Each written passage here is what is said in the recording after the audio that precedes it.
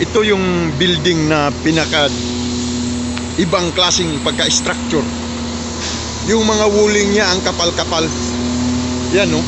Oh, ang kapal na wuling. Puro bato. Ito yung mga bato. Bato talaga ang ginagawa. Purong bato. Oh. Oh. Purong bato. Ganito.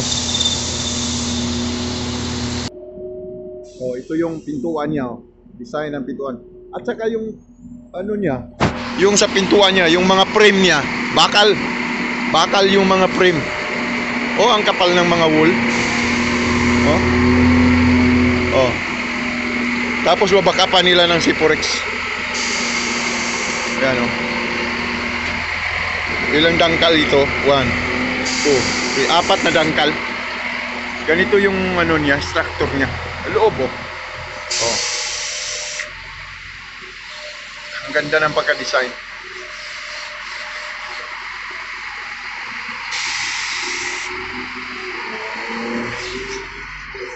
Naiibang design na building. Kasi puro bato. Yung bato, yung bato na kasi itong mga bato na to layer-layer ito eh sa mga bundok. Parang nag-layer-layer siya. Madali lang matibag. Ganyan oh, ganyan na siya yung mga biyak-biyak niya. Malalapad. Ngayon, pinag-pile-pile nila oh, pa isa-isa, pa ganun, paakyat. Paakyat sa taas, paikot, ganyan. Bakapan lang ng siminto yan. Siminto. Tsaka buhangin. Ito, buhangin at tsaka siminto. Yun na yun yung pampandikit nila sa mga bato. Yung pinagdikit. Kung may kawang ng kunti, lagyan ng maliit na bato. Yan, back up oh. Yan, natatanggal oh. Oh, yan. Ito yung pagkagawa. Oh, sulit na sulit oh. Ang laki bato. Oh. Oh. Ah. Pa isa-isa talagang ginagawa to. Hmm.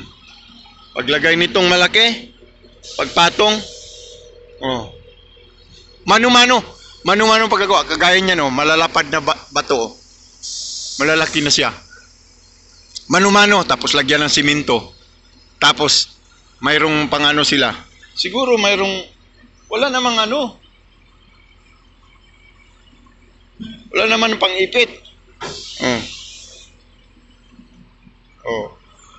Ganyan, oh. oh. Ganyan siya pagkagawa. Ang ganda. Ang ganda ng pagkagawa.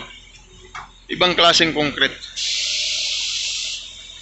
Concrete. Ibang klase. Taking, taking! Taking there! Up. Taking! Up. There, here.